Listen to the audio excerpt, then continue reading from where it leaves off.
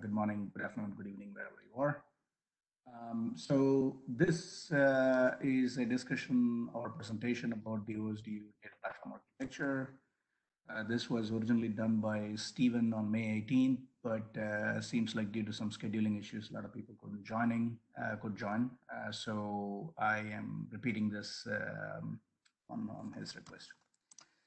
Um, quick antitrust. Um, we shall not discuss or exchange information related to the following companies proprietary or confidential information, prices of products, purchasing plans, or any other company specific um, aspects.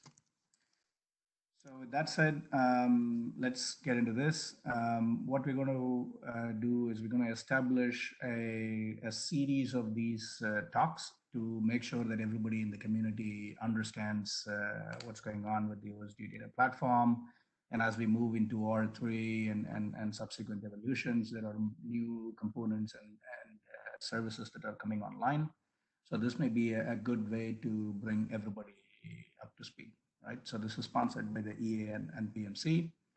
And the plan is that we will have this uh, as a one hour session every two weeks uh, in the same slot uh, that we have uh, right now.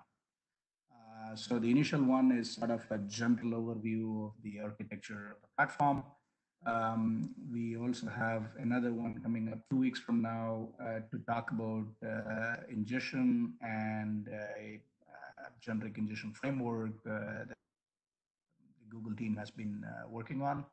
And we will try to schedule more presenters uh, across the different development organizations to make sure that you know we can build this as a strong community. Um, the link there on the screen, uh, I've also put that into the chat window. So that's where we will keep track of um, the slides and, and, materials that we are presenting here. Uh, and I've been talking to Judy and, and Dennis to get this thing recorded. So we will have this on, on YouTube as well. So, you know, for those of you who have missed it or you want to share it with your peers, colleagues, whatever, you will be able to do that. Uh, key thing to note is uh, this is um, a, a, presentation session where the development team comes and tells you about what they are implementing. Uh, this is not a EA discussion session right? So this is not where we're going to, you know, architect on the fly, uh, but more to understand the, the current status and, and plans and what the designs and APIs look like. So with that said, um, this one is a, a kickoff um, for the uh, the series. And so what I wanted to do today was to give you a functional uh, architecture of the overall data platform so it's not going to get into the details of any of the individual services or implementation, but gives you a, a broad spectrum uh, of this. And keep in mind that this is really just the functional portion of it. Um, there are also things around, you know, validation, certification, documentation, operations, security, etc. So these are things that we will uh, schedule as subsequent sessions. Uh, and a lot of these are, are also in the R3 played. So, you know, we were really developer ready with, with R2. Uh, so some of these features are not as mature uh, today to, you know, get into much more details than that. So then let's introduce the uh, OSDU data platform. Some of you may have seen the slides from the virtual face-to-face -face, uh, meetings as well. Uh, so this basically shows you the data flow and the different aspects that we need to think about. Uh, so the flow goes from sort of uh, left to right, if you will. Um, the security and operations are more of the, the cross-cutting things that uh, serves the, uh, the whole platform. Anytime we bring in data from any external source, be it a file, a database, a national data center, a vendor data source, whatever the case may be, uh, we need to make sure that there is uh, governance that's uh, put into the data. This means tagging the data, making sure that this is compliant uh, um, for retention, it's compliant for access and delivery. So that is sort of a, a precursor stage to uh, what we would call ingest. Uh, so once the data lands up in the cloud, how do we then parse this? How do we understand the, the format of the data? And extract the metadata that is necessary for uh, discovery. So that's the next phase, which is using that uh, metadata to provide rich capabilities of discovering the data that is there within the platform.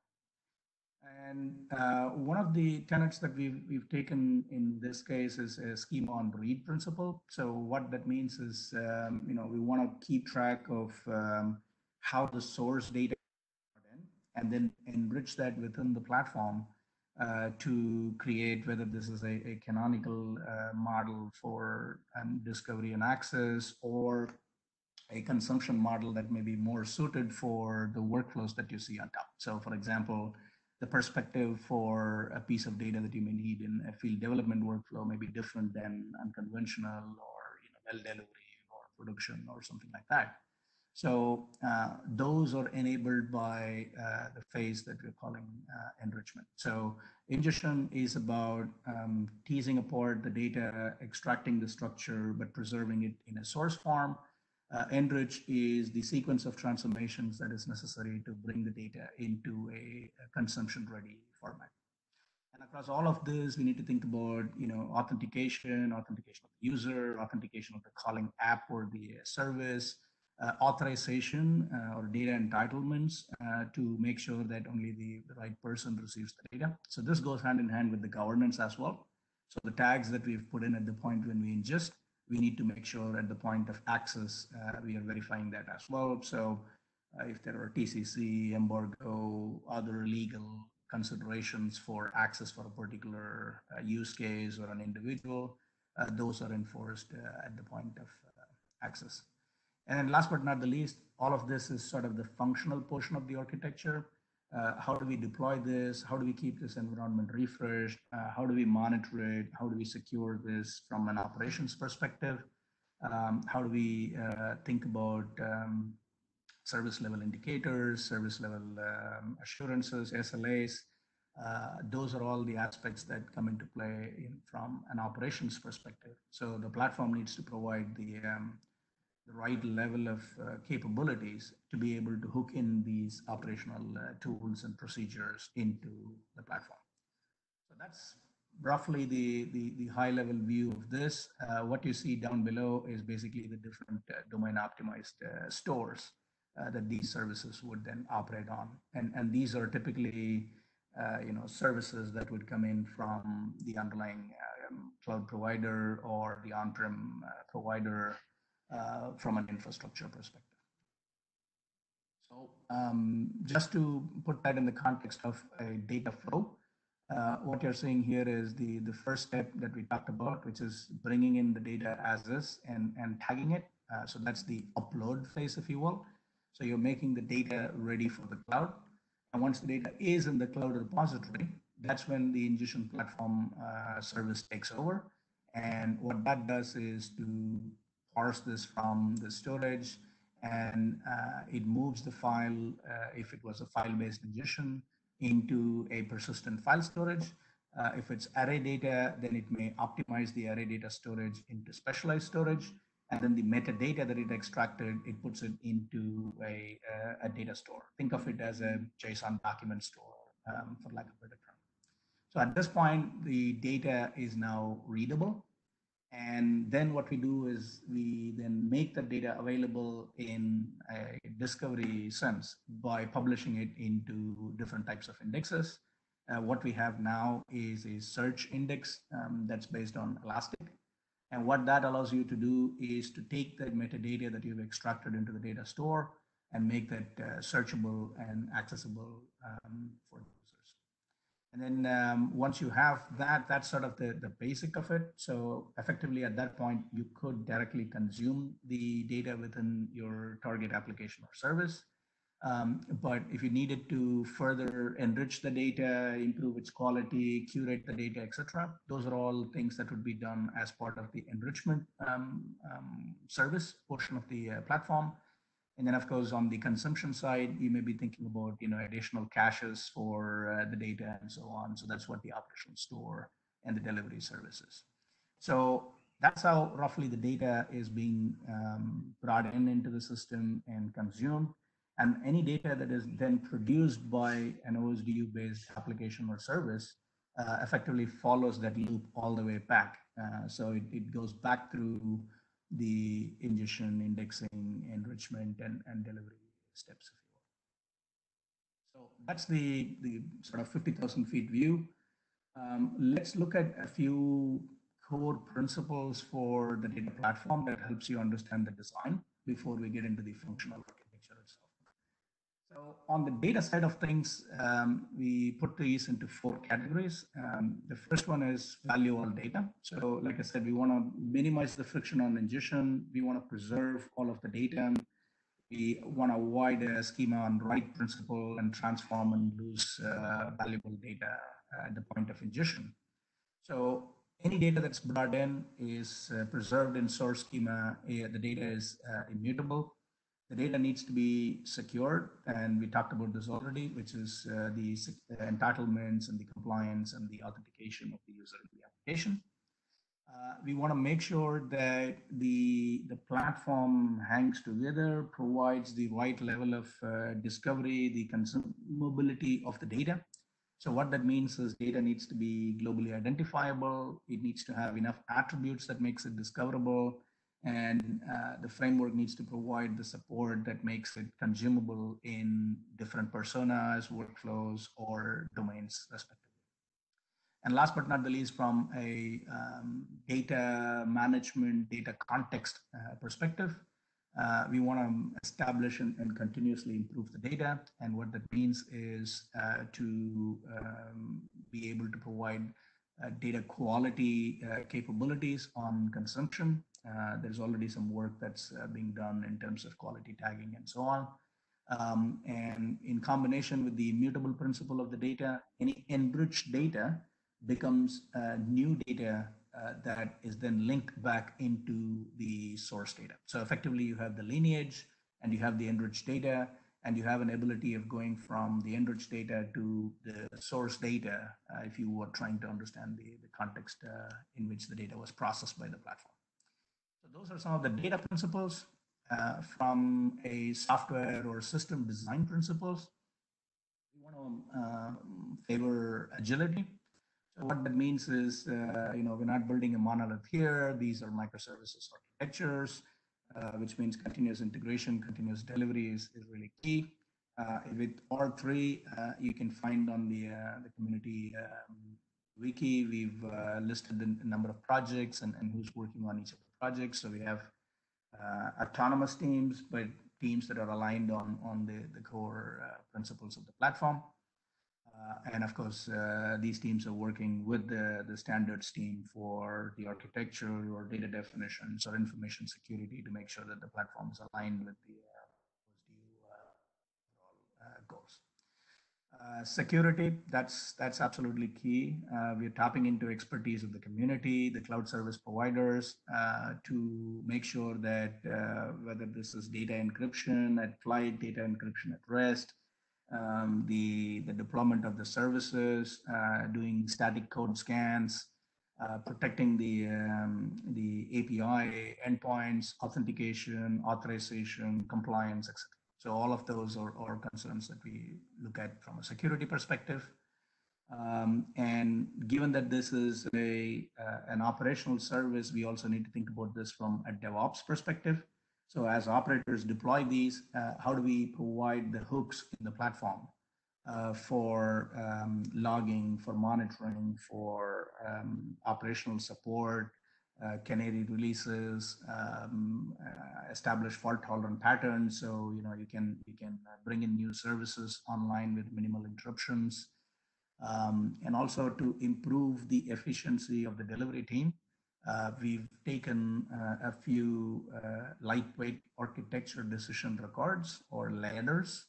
Uh, and what these are are some principles that we've agreed upon um, with the, the, PMC and the contributors and the committers within those uh, teams uh, to make sure that, for example, you know, what are the languages, what are the frameworks, what are the design principles that we want to keep in mind so from a DevOps perspective, the, the environment that you're deploying into becomes uh, more uh, manageable and maintainable over. Um, last but not the least, on the polycloud side, um, you know, obviously we know that uh, different operators that are consuming this or uh, having different choices of uh, public cloud or, or even in-country type of uh, deployments. So Uh, we do want to support this in a polycloud manner, but at the same time, we don't want to dilute it to a point that we always go for the lowest common denominator and the cloud providers are not able to provide that differentiation. So this is going to be one of those things where we strike the balance between the lowest common denominator approach versus a common code platform uh, approach in an elegant manner. And of course, where we can, we um, leverage other uh, open source projects and, and APIs uh, as possible. So given those data and system principles, now let's go back to the same uh, picture that we saw before and look at it from an API perspective for each of these services and see where we were with um, release two and what are some of the, um, the top things that we're working on from a release three perspective. So jumping into um, governance uh, first, um, what we've released in uh, release two is a, a, legal service that helps with uh, compliance. It helps with the tagging of uh, data. So, you know, things like the country of origin, other countries where the data may have been processed. Um, these type of uh, tags you can you can put on top of it, um, but it's it's still sort of limited to a few attributes, and the policy is actually evaluated by the legal service itself. And the improvements that we want to do to this service in release three is to improve the flexibility of the tagging. Uh, so you can you can bring in additional attributes that may be relevant to you know, the country that you're operating in or corporate policies or, or things like that. And what that also means is if we um, increase the flexibility of the tagging, um, then we should also bring the same thing when it comes to the enforcement.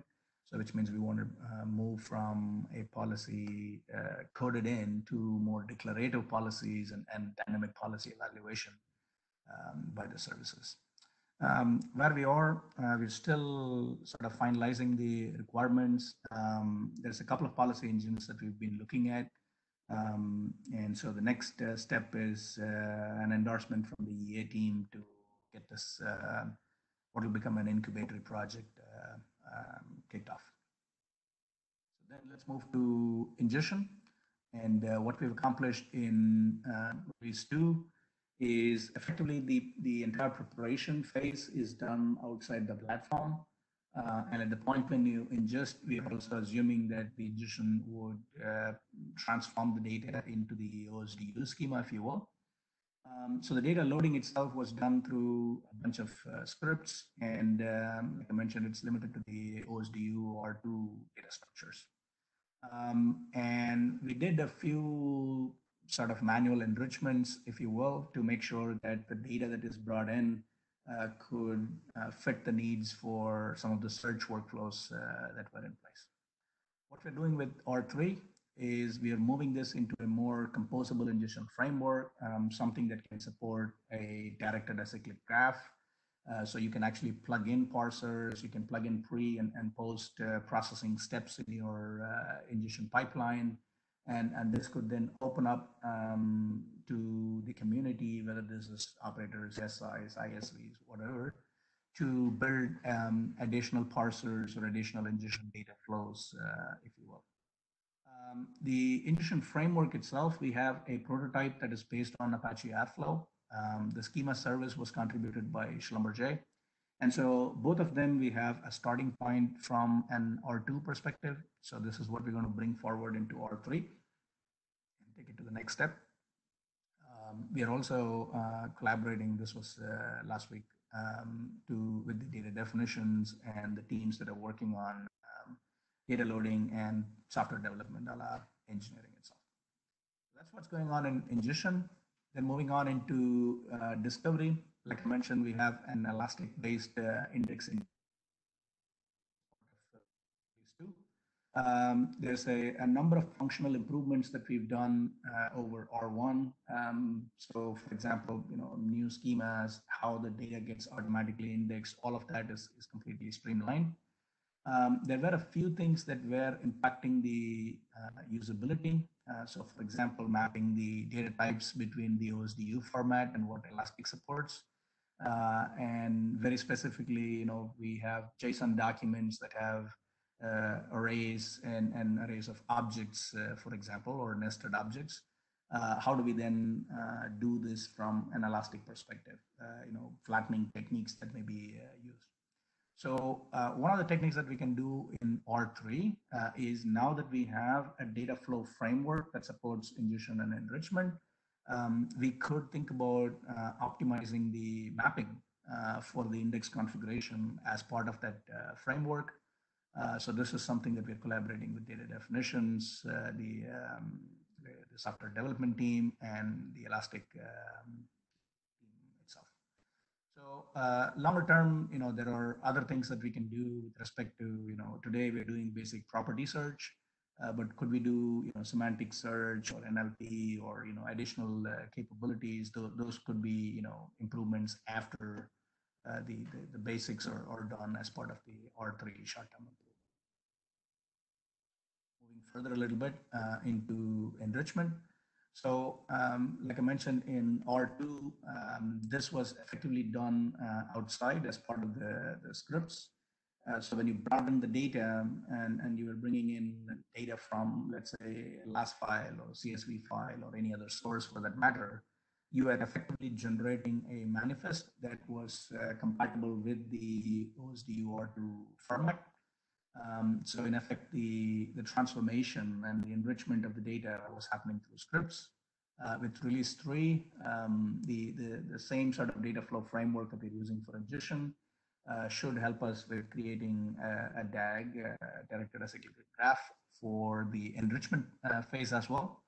So this would then get triggered by the notification that comes from the storage service. So anytime that there is some new data that is uh, brought in into storage, uh, that would then trigger the enrichment, and therefore your workflow will be able to transform the data into a form that is more conducive for discovery and consumption.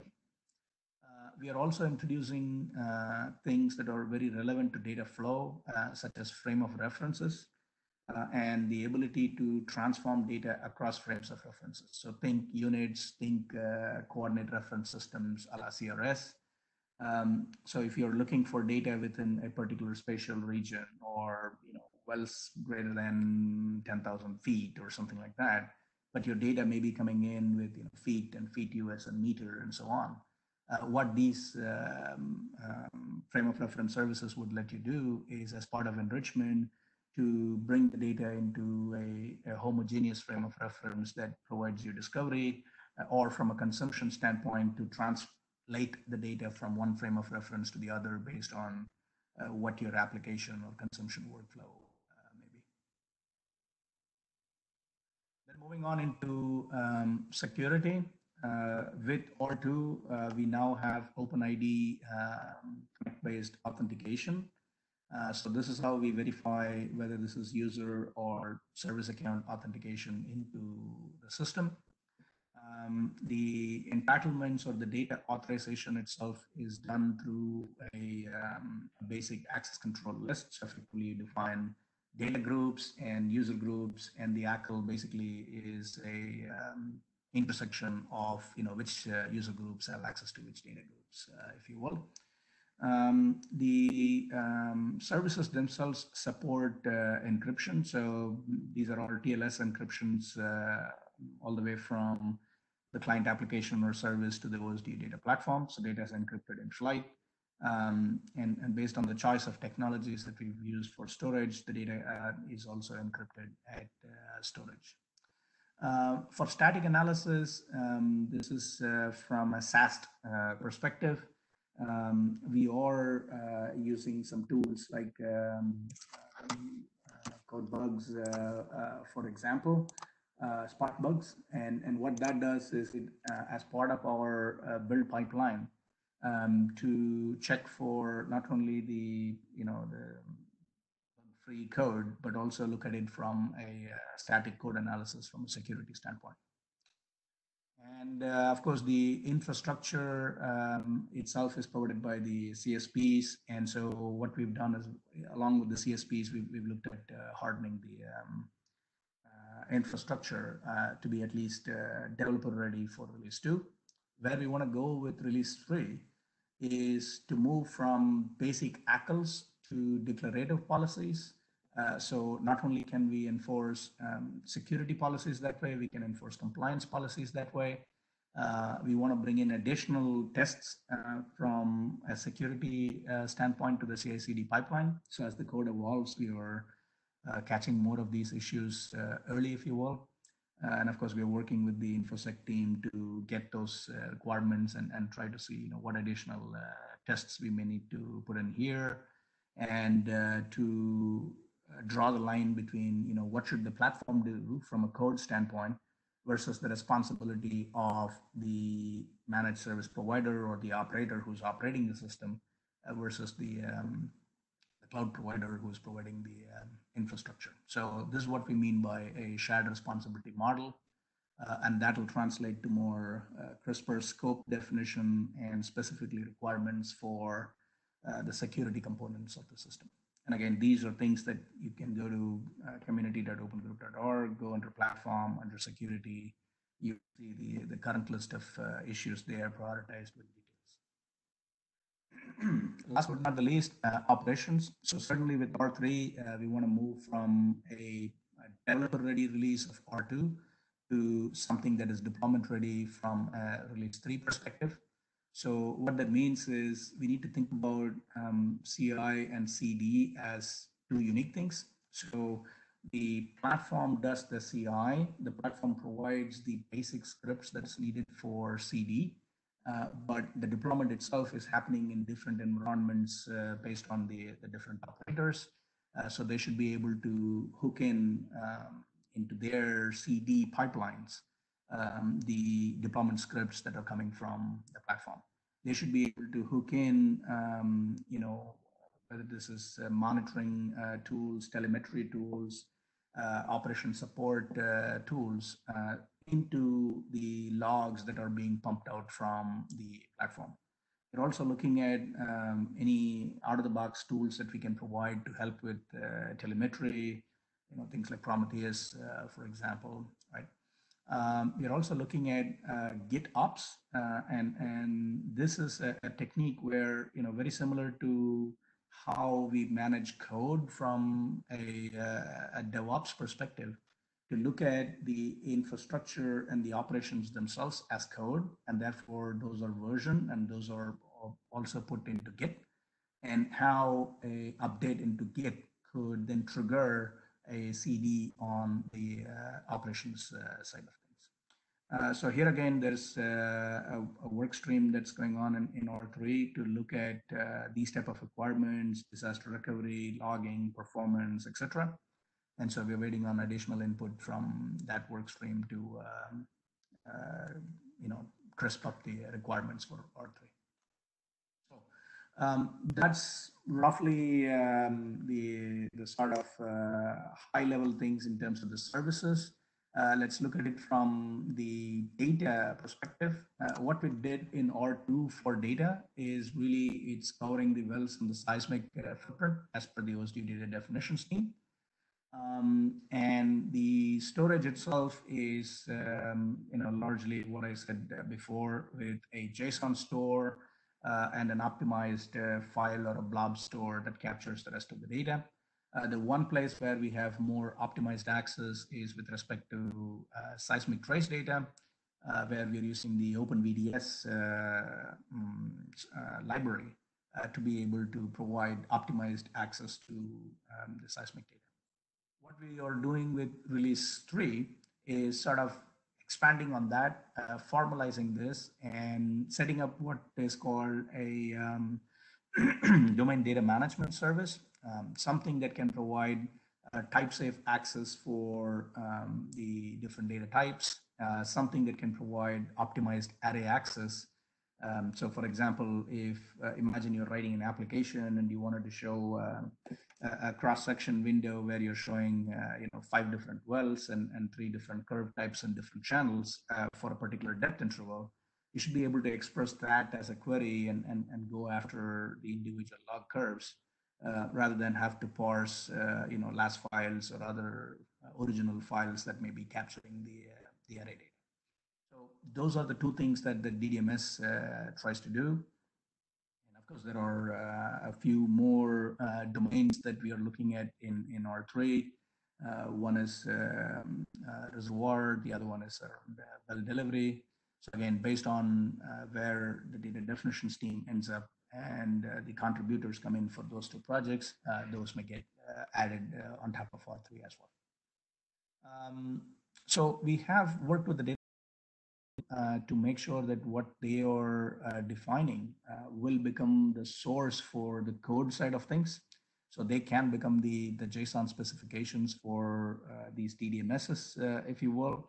And they also need to be linked into our test cases to make sure that when we make a release of the platform, that it's compliant with the, um, the standards as set by the data definitions. That is very quickly, you know, a, a quick overview and, and contrast of, um, you know, where we were with each of the individual services in R2 versus R3.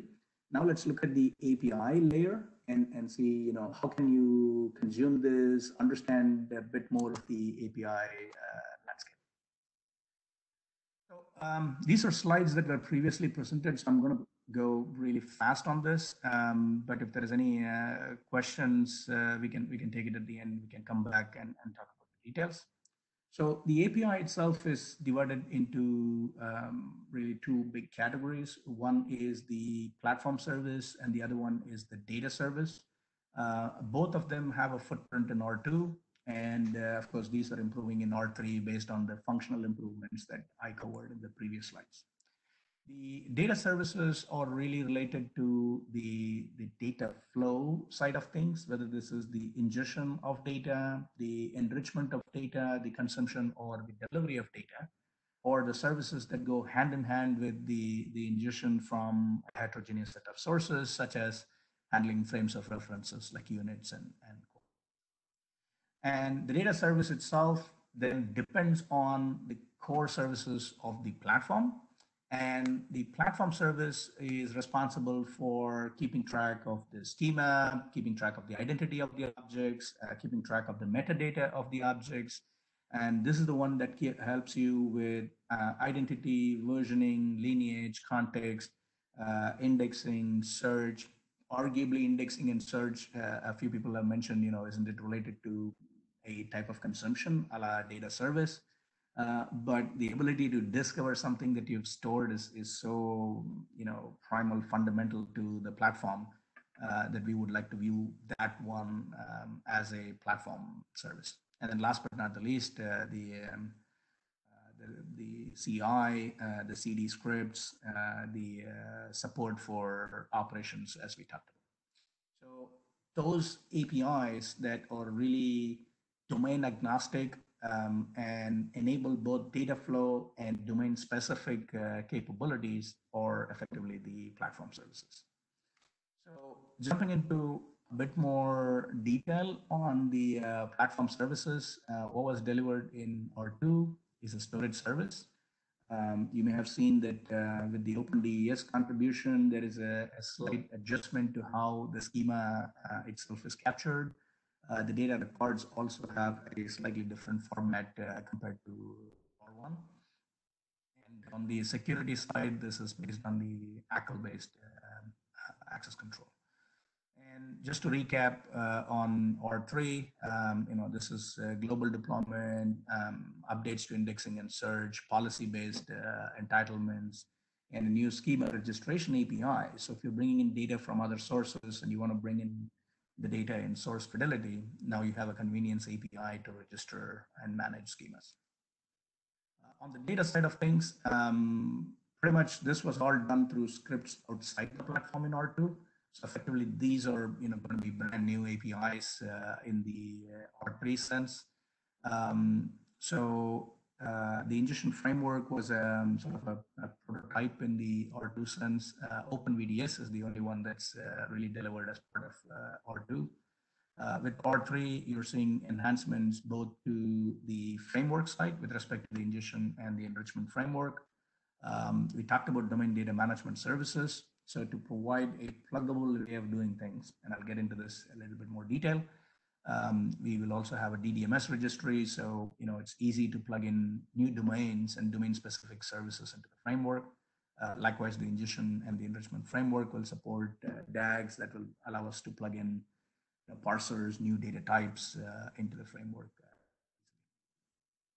Then um, very quickly on, on uh, DDMS. So today what we have is a generic set of APIs, right? So if you go to storage or search, uh, you get a JSON document out and the structure of the JSON document is hopefully compliant with a schema. Um, but if you try to generate your client code, for example, uh, because those structures aren't baked into the definition of the APIs, uh, you're not going to get um, type safe uh, accesses, right? So, for example, if, if you generated a Java client library, for example, you're not going to have an entity called a well. You're going to have an entity called an entity uh, whose uh, you know kind is a well, and it's basically effectively think of it as a name value pair bag of uh, values, right? So it's good, it's flexible, it's the foundation that we need, um, but it is not possible to bring in those additional semantics and the, the type safety that is necessary to build robust applications that can run natively on top of that's what the DDMS does. So it brings the semantics, it brings a type safe API, and it also provides optimized array accesses.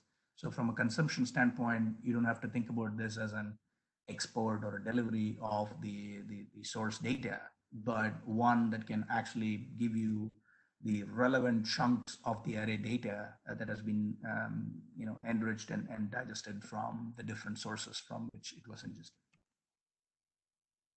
Which APIs uh, should you use? So of course, everybody should know how the, uh, the core platform itself works. So everything that is related to the, um, the platform service, if you will, how the authentication works, how the search works, how storage works, how delivery works, uh, how compliance works. Uh, those are things that everybody should uh, know. Um, and uh, if you are an author of a new type or you're going to connect the OSDU platform to a new source, um, then you may need to know a few more things. You may need to know how the ingestion framework works. How can you plug in your parser into the ingestion framework? Uh, how can you build a DAG using pre-post process steps? Uh, how does the um, the security of the system work from an entitlements perspective, from a compliance perspective, so we can tag and enforce the uh, the data properly. Uh, and like I mentioned, you know, if the source of data that you're bringing in is is with different frames of references, then how do you use the helper uh, functions to um, either process the data during enrichment for a homogeneous discovery, or to make those available in your consumption workflows within the applications uh, to transform it to how the user wants to consume it in their work.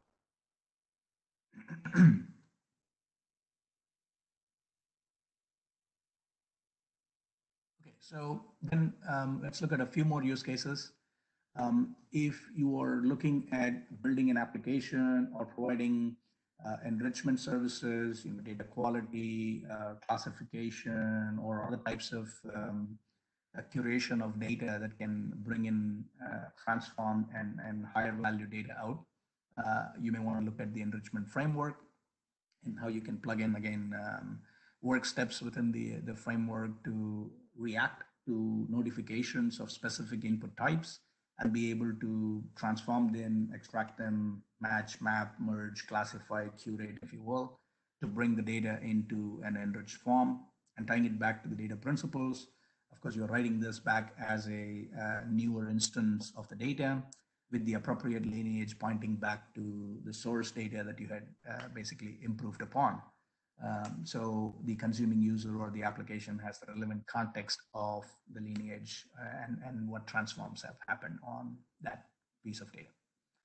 Um, and of course, you would look at the, um, the domain uh, object uh, uh management service APIs to register uh, your DDMS. So if you want to bring in a new domain, so for example, Energistics and Emerson are looking at uh, bringing in um, reservoir domain, Schlumberger and EPAM are looking at uh, the well delivery domain. So if those domains um, have optimized uh, array accessors, type safe accessors, and you want to package them into a DDMS, you will look at the, uh, the, the, DDMS APIs to register and link in those. Uh, and of course, you need to make sure that you're using all the, platform APIs uh, shown here as core APIs uh, to make sure that you register your schemas, you register the identity of your objects, you make enough metadata available so it's indexed, it's, it's searchable, and you tag the data from a uh, entitlements and the compliance perspective. So any new domains that we bring in still follows the same cross-cutting principles of the overall OSDU platform. And um, last but not the least, if you are a SI, if you are an administrator of the system, if you are responsible for operations, um, then these are some of the APIs that you'd be looking after, uh, entitlements, uh, compliance, and again with R3, you'll also have the, uh, policy-based um, definitions of compliance and, and entitlements. So how you can uh, define and modify modify the policies for your deployment environment. And then uh, if you have, uh, you know, specific tools, um, you know, maybe a company is uh, subscribed to Splunk, uh, for example, then how do you then route those uh, logs uh, into those type of enterprise tools that you may have for your operations monitoring, your um, telemetry and insight support, um, how you want to notify the users. So those are all the things that you may want to look at. And again, the, the platform will provide you the capabilities around uh, logging information, telemetry information, notifications on new and changed data items um, that you can then react to and, and hook it up into the other tools that you may have uh, set up in your enterprise. So hopefully that gives you a flavor for the different services in the platform where we are with R2, what are some of the work that's going on with R3, uh, what the API landscape is, and again, the two broad categories, the platform services and the data services, uh, and in particular where these DDMSs uh, fit in in an R3 timeframe. And hopefully the last few slides gave you uh, an overview of, um, you know, based on your persona and what you're trying to do with OSDU, uh, what are some of the APIs uh, that's targeted towards you and, and how you can benefit from it. So if you want to learn uh, more, what do you do?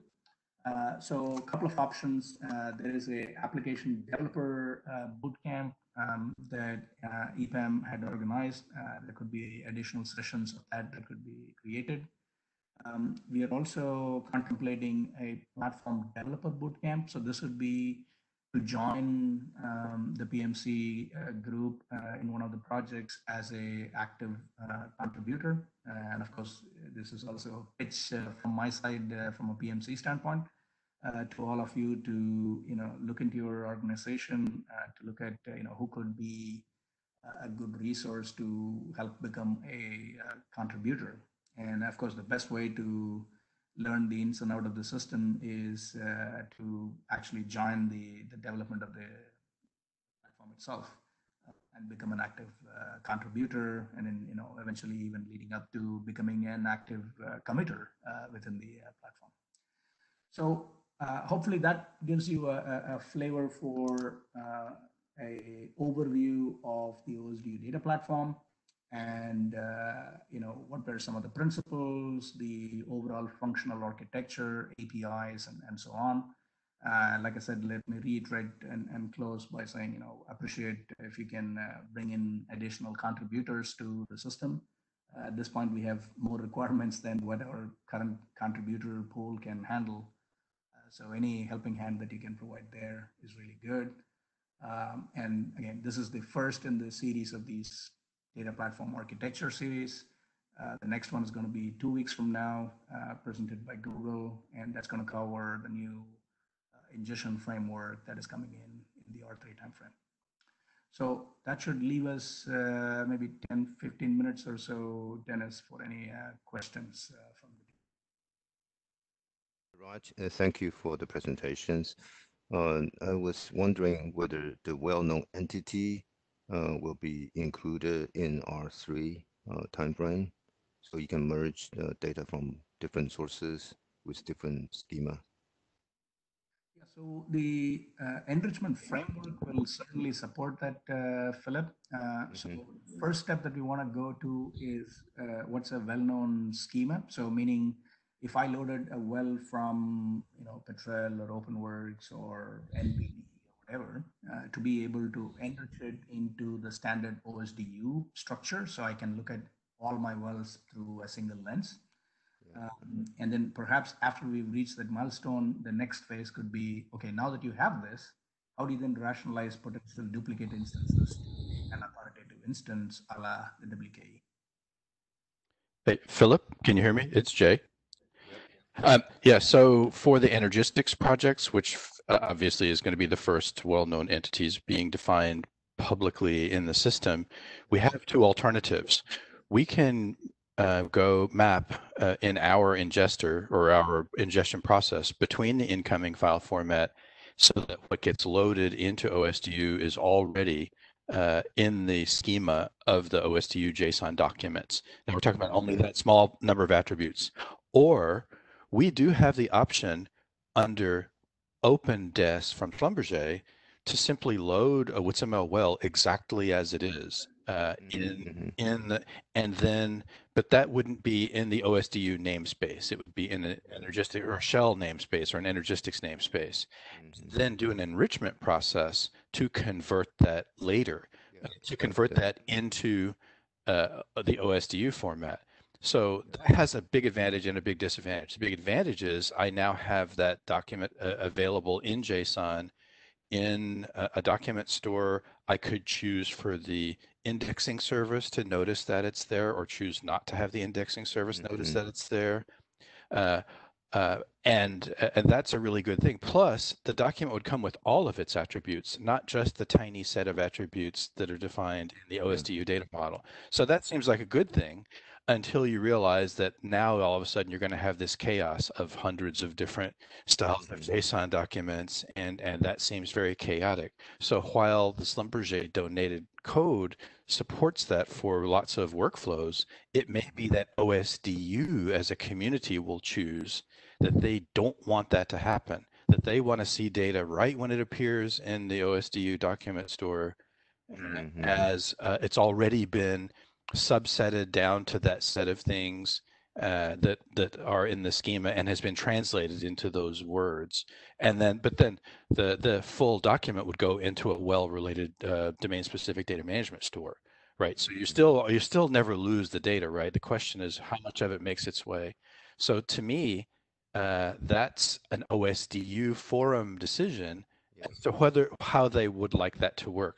But that decision is key to what it's well, it's key to what Energistics is doing. It's also really key to what we're doing on the data loading, data prep and loading team, yeah. because uh, there's three possibilities. You do the mapping before the data appears at OSDU. You do the mapping mm-hmm. in the ingestion pipeline, or you do the mapping after the fact, after you've yeah. put foreign data into the document store.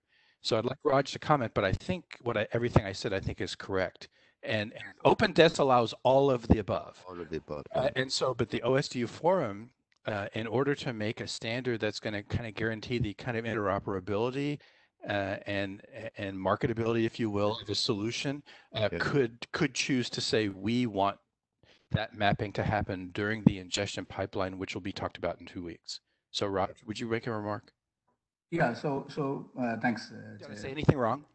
No, no, no. Uh, let me let me let me make a few comments. So uh, yes, in fact, uh, with R2, uh, effectively the, the first mode is is what you said, right? Meaning the processing of the data, the extraction, the transformation to an OSDU schema or a, manifest file is happening outside the system, right? So yeah. if the OSDU system evolves and we want to now bring in a new attribute into the mix, if you will, um, you know, unless you know what your source is, and, and hopefully you can reach it at the point uh, that happens, um, the system will not be able to sort of auto upgrade and evolve its its model uh, in in that sense, right? So yeah.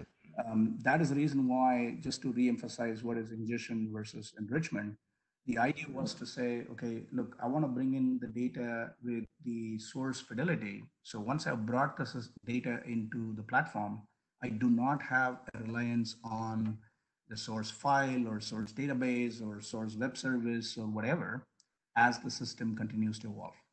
And if Mhm. the OSD data model uh, becomes more uh, richer over time with attributes, relationships, etc., effectively what you're doing is you're rerunning an enrichment to then process that input data, if you will, and then generate the um, OSDU perspective of the data for uh, consumption. And what that also allows you to do is to keep track of the lineage. And because the enrichment is not some random Python script that somebody's running outside the platform, you can actually say that, okay, this OSDU well uh, was actually generated from this WITSML file, and this is the specific DAG routine that we ran to uh, generate this. And, and that sort of um, a context brings uh, trust uh, in in a user to know okay am i going to trust this information more than something else? And what processing has uh, happened on top of the data? With respect to the um, the pool of data and, and how to make sense out of it so that's where the entitlements comes in. So uh, a, lot of cases uh, at least you know now wearing my schlumberger hat rather than the pmc hat um, some of the commercial customers of this, the way they do it is uh, through the entitlements, right? So you would basically say that the source data is entitled to the curators of the data, you know, think data managers, think IT type people. And then you effectively provide access to only the, the well-known schema to the end user. So that way you're providing good quality, uh, standardized uh, data for consumption but from a management standpoint, you have a, a, single platform, a single place where you can uh, manage and, and, curate all of this uh, information together. But you could choose to do the reverse, like I said. You could choose for the indexing service to index data that is not yet in OSDU format. Correct. So the indexing service today does not discriminate. Um, so if you have uh, schemas from other namespaces, it will index all of them but the ability to retrieve anything, including the index, is driven based on the entitlements. So if um, I say Jay is a data manager, so he can see the Energistics uh, namespace uh, data, but Philip is an end user, and therefore he can only see the OSDU one. Uh, from Philip's standpoint, that's the only thing that even exists in the index. Uh, maybe maybe I'd like to uh, uh, ask Doug to um, uh, kind of take this issue back to data definition subcommittee uh, for some discussion um, to provide some guidelines. We've actually talked about this Okay. issue in, in data definitions, but remember there's many data definitions calls, but Right. uh, uh, uh, you know, at the risk of sounding like a broken record, uh, and Doug, please jump in, but uh, the data definitions crowd is waiting for this deeper dive into the details of Oh, understanding how the ingestion pipeline. It's it, without really having the uh, uh, the next level of detail of what services are there now, what services do we think we're going to develop. Energistics will probably develop a few. You know, Mikhail and CGI guys will probably develop a few. You know, as we identify things that are needed, we may spin up tiny PMC projects to add little services into the core. You know, but uh, but uh, Doug, is, is that a fair statement of where we're at? We're kind of waiting for for everyone to get on the same level of knowledge. Yeah, I think it is, Jay. I, I don't know if we've said that explicitly, but we certainly are kind of forming our understanding right now and aren't really able to a- answer those questions, Philip, until we So- do. get so down Two weeks from now, uh, we all uh, very excited to hear about uh, ingestion pipeline. Then after that, uh, I think data definition subcommittee can have a good discussion on on on this uh, the very issue. Yeah, I think that- uh, but a lot of these workflow things belong to Mikhail van der Haven. They belong to the data prep and loading team. That's kind of the way it's fallen Yeah. out in the within the data definition subgroups. Is that Mikhail's group, which I'm on, so I can say we. Doug's on it, so we can all say we, because all the same ones are on a lot of the same subcommittees. But but Okay. but the, but the truth is, you know, rather than having the people doing well delivery worrying about this, uh, it, it either belongs to core concepts or the data loading. And I think it's pretty much, James has pretty much driven it that uh, that particular thing is in the data load, data prep and loading team. So if people have energy around that, join our calls. Yeah, yeah, yeah. Which are Wednes, I think Wednesdays. probably should also encourage data loading team to join the next architecture series. Oh yeah, I think we'll be letting everybody, we need to let everybody know about that. The data loading calls are at, are at nine AM Houston time on Wednesdays. So if people want to join those, uh, please do. Any in questions, guys? in this team, uh, we, we saw that uh, the problem will be re- really uh, the data preparation and the status of the data preparation when we want to ingest it. I think that's the main problem we have for the time being. For example, it could be very easy for us to ingest a RESQML file which is uh, generated by Paradigm or by uh, Schlumberger, which already respect the rules, and then after we can inject the thing. The same way we can really ingest easily something which exists somewhere in the PPDM environment and on which we can after apply the rules. Because by example, when we are looking all the data, they are so inconsistent that it could be necessary to pass in a software before going to the uh, to the ingestion part. This data preparation is a very big challenge now. Yeah, that's a, that's a good point, uh, Jean-Francois. So tha- that's, that's also the reason why we want to make sure that, um, you know, those type of manifest generation, one is not manual and, and two isn't done outside the platform. So if we needed to, you know, redo that, we don't have to, you know, go after wherever we ended up uh, dropping these uh, scripts and manifests at the point when we initially loaded the data. Uh, Raj, can, where can we find this PowerPoint after meeting? Yeah, so I, I in the chat window, I've, I've put in a, a link. This is a, uh, community uh, wiki page link um, that contains the, um, the different topics that will come in this architecture series. Um, so I have already linked the slides in there. I don't see it in the chat, Raj. Yeah, it's not in the chat. It is not in the chat. My chat is empty. I Sorry, can- sorry to interrupt you. Sorry to interrupt your flow, Raj, but tell us. I can see it. I've, I've gone to the link, Jay. My chat is empty. That's interesting. Okay. So if you if you go under platform, there is a new uh, uh, folder called enterprise architecture, and then under wikis you will see this is where the topics are. Okay, okay. And you see the slide is uh, already attached and we also have the the slides for the next one but you know hang on to it until uh, this has uh, actually done the uh, the presentation uh, two weeks from now. And i'm also working with uh, judy and dennis to get these recordings uploaded to youtube. So we will also put a link in here. Yeah. uh, then if you actually want to hear the speaker and you've missed the session, you have a, a way to replay it later. Excellent. Yeah. Thank you so much, Raj. No problem, guys. Thanks. Thanks for joining uh, this morning. Uh, have a good day.